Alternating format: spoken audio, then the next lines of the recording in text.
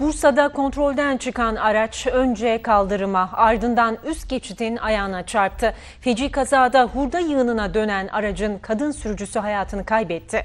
Kaza İzmir yolunda meydana geldi. 31 yaşındaki Esra Acar'ın kullandığı otomobil göçmen konutları kavşağında henüz bilinmeyen bir nedenle kontrolden çıktı. Önce kaldırıma çarpan araç ardından üst geçidin ayağına vurarak hurda yığınına döndü. Olay yerine ihbar üzerine çok sayıda polis, itfaiye ve sağlık ekibi sevk edildi. Sağlık ekiplerinin yaptığı incelemede araçta sıkışan genç kadının olay yerinde hayatını kaybettiği tespit edildi. Acar'ın yakınları kaza yerinde sinir krizi geçirdi. Kazayla ilgili soruşturma başlatıldı.